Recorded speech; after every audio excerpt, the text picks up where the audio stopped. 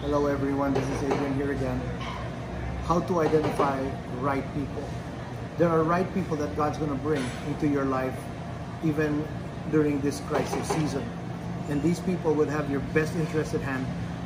They care for you, they love you, and also you've got to have a mutual response to that. Now, as wrong people leave, right people will enter.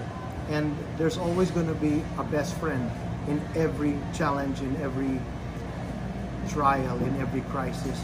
You'll have a warfare companion like David and Jonathan, like that. There's gonna, I mean, maybe your companion in the last season will not be your companion in this present season.